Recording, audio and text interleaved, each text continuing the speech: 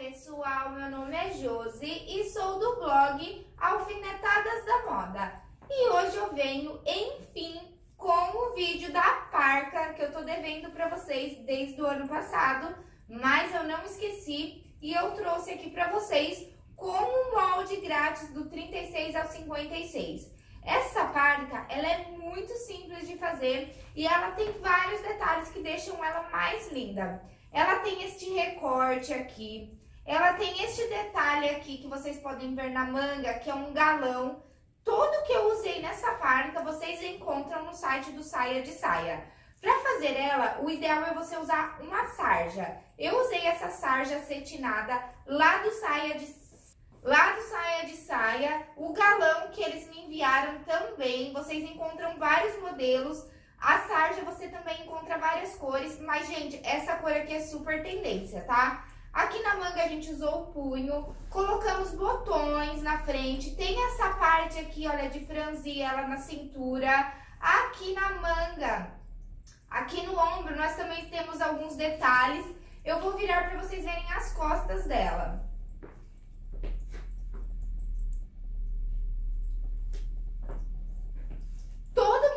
Conseguir fazer essa parca e tá super tendência. Esqueci de falar do, botão, do bolsinho que a gente também colocou. Este bolso você pode colocar tanto aqui quanto aqui na parte de cima. Eu optei só por colocar aqui na parte de baixo, mas aí fica a seu critério. Meninas, todos, uma, todos os materiais que eu usei, como eu disse, vocês encontram no site do Saia de Saia. Eu vou deixar aqui embaixo no box de informação para você adquirir os tecidos e os aviamentos, tá certo? Então, se você quiser aprender a fazer esta párica super simples de fazer e linda, é só você ficar aí e continuar assistindo ao meu vídeo. Bora fazer nossa parca, então, que eu prometi para vocês desde o ano passado, né? Mas eu sempre falo, eu tardo, mas não falho. Tá aqui a parca, então. Já coloquei aqui o molde no meu tecido e vou cortando, tá? No molde tá explicando certinho quantas vezes você precisa cortar cada parte. Depois que eu cortar, eu vou passar carbono, porque tem essas partes aqui, tá vendo? Aonde a gente vai passar é, o cordão, então é preciso passar o carbono, tem a parte do bolso, então precisa passar o carbono, tá? Então, eu vou cortando aqui se você não tiver prática, giz de alfaiate, fita métrica, risca 2 centímetros de margem de costura toda a volta, e aí você pode cortar. Se você já tiver prática, já pode cortar direto.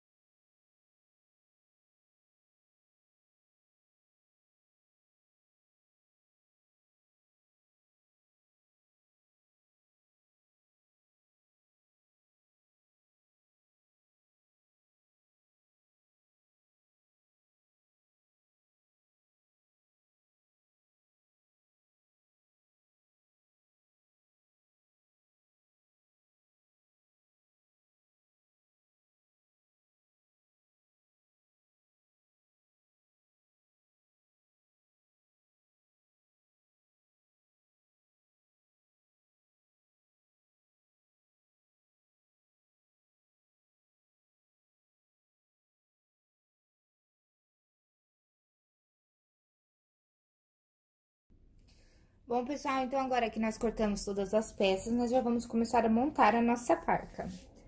Primeira coisa que a gente vai fazer, você vai pegar a sua manga, olha, antes de fechar ela, se você for usar galão, você coloca aqui antes. Então, como eu vou usar o galão, eu já coloquei o galão aqui e aí eu vou fechar minha manga. Então, eu coloco lado direito do tecido com lado direito do tecido e passo uma costura aqui fechando, tá?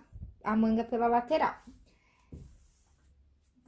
Pegar aqui todas essas partes menores aqui, olha. Vou pegar primeiro aqui a minha gola e vou colocar lado direito do tecido com lado direito do tecido. E vou fechar a gola desta forma, olha. Vou passar uma costura pela lateral, fecha a parte superior e pela outra lateral, deixando aberto essa parte aqui de baixo, tá certo? Vou pegar aqui o detalhe que tem na manga e vou colocar lado direito do tecido com lado direito do tecido. Vou passar uma costura também aqui, olha, na marcação do meu, do meu carbono, deixando aberto só essa parte aqui, que é a parte que a gente vai virar ele depois pra ele ficar tudo embutido. Vou pegar aqui também a parte do meu bolso de cima, olha, vou colocar lado direito do tecido com lado direito do tecido e vou passar uma costura também aqui, fechando toda essa parte deixando aberto só essa parte aqui, que é a parte que a gente vai virar. Essa parte é aquela parte que fecha o bolso. Vou pegar aqui o meu bolso e vou fechar ele. Então, eu vou virar isso pra dentro, passar uma costura, virar pra dentro, passar outra costura, ó. Mesma coisa, e aqui embaixo, mesma coisa, deixando o bolso dessa forma. Deixa eu virar aqui, ó. Então, ele vai ficar todo fechadinho pra depois a gente encaixar ali na nossa parca, tá? Tá? Então, você vai fechar ele toda a volta aqui pra ele ficar bonitinho e encaixar na parca.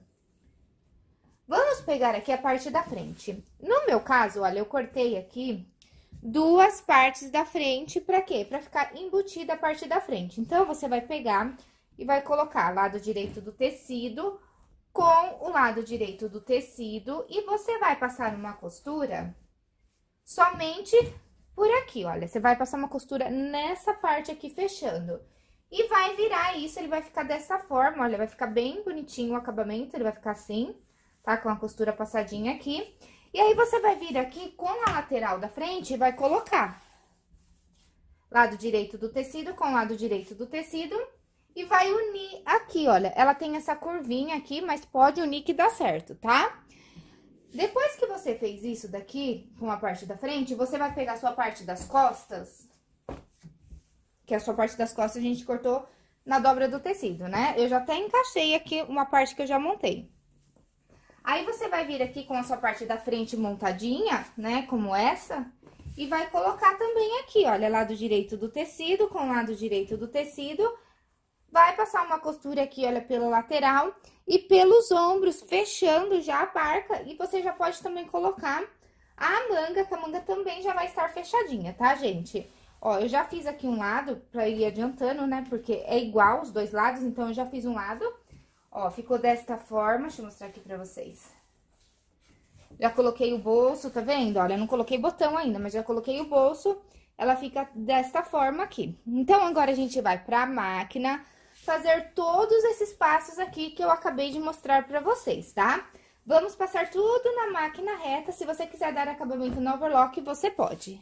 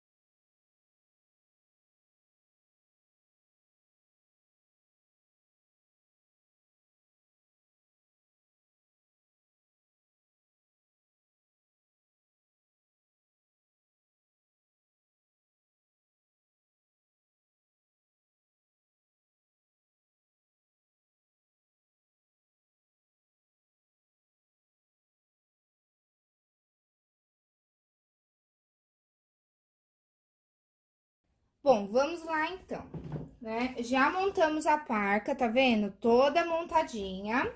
Aqui, gente, na manga, eu peguei um pedacinho de malha canelada preta e coloquei aqui como punho. Se você não quiser, não precisa, você usa o mesmo tecido e dobra, tá? Eu só coloquei porque pra quebrar um pouco o verde aqui pra mim, no meu caso, tá? Então, eu coloquei aqui o punho. Eu até ia colocar aqui na barra também. Na verdade, eu coloquei, mas eu não gostei. Eu achei que, nossa, ficou muito sabe? Então, eu vou, aqui na barra, eu só vou virar mesmo pra dentro e fazer a barrinha dela, tá? Então, aqui, olha, a gola, ó, vocês viram que eu mostrei, né, colocando esse negocinho aqui, que é a parte, a gente vai colocar um botão aqui pra pregar ele depois. E a gola, olha, eu coloquei lado direito do tecido com lado direito do tecido, e aí eu encaixei ela aqui já, ó. E vou passar, eu dobrei aqui pra dentro, tá vendo? Olha, passei no ferro só pra facilitar. E agora eu vou passar uma costura aqui já, pregando a gola em toda a volta. E também, olha, o que que eu já fiz? Lembra que eu cortei uma tira que é pra fazer o passador? Gente, esse passador vai ficar a seu critério a largura. O meu, eu quero ele um pouquinho mais grosso, então fica a seu critério, tá? E aí, você vai... Ó, eu coloquei ele aqui, tá vendo? Na marcação do carbono por dentro, por isso que é importante fazer a marcação do carbono. E aí, eu vou passar uma costura aqui e aqui pra pregar aqui o meu... O meu eu esqueço o nome disso, gente. Não é passador, porque o passador é esse daqui, tá vendo? Olha, que é uma tirinha mais fina que eu cortei e depois eu vou passar aqui por dentro pra amarrar. É um túnelzinho que a gente faz, tá? Pra poder passar aqui a nossa tirinha. Se você não quiser fazer com o mesmo tecido, quiser fazer de outra cor, fica bacana também. Então, agora a gente vai pra máquina finalizar a parca e depois eu vou colocar os botões. Eu vou colocar botão de pressão. Se você não quiser colocar botão, você pode colocar zíper, fica bem bacana, tá? Como eu já tenho vídeo aqui no canal, sujei de óleo, vou ter que dar uma lavadinha, sujei na overlock, porque eu fui dar os arremates. Então, eu vou colocar os botões, como eu já tenho um vídeo no canal ensinando como colocar os botões de pressão, para o vídeo não ficar muito longo, eu vou colocar. E aí, depois eu já volto com a barca finalizada, tá certo? Então, agora a gente vai pra máquina, pregar esse túnel e a gola.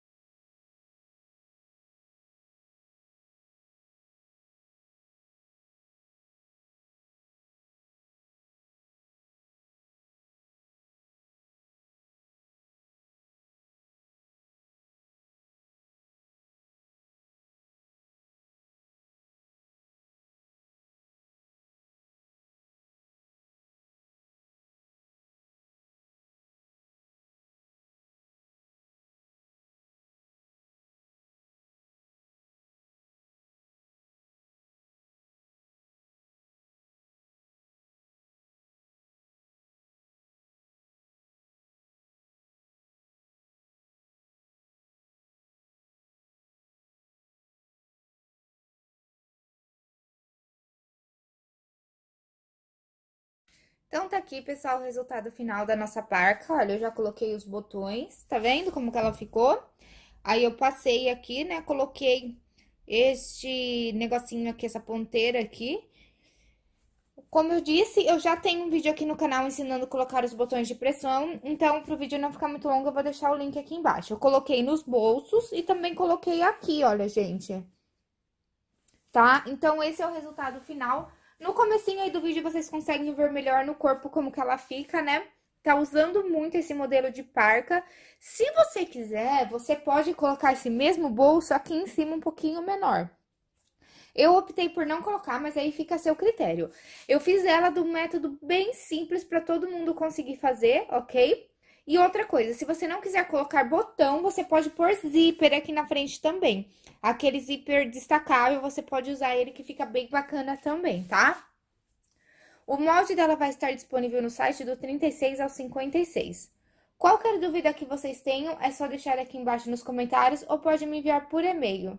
Eu espero muito que vocês tenham gostado desse vídeo e eu espero vocês em um próximo projeto.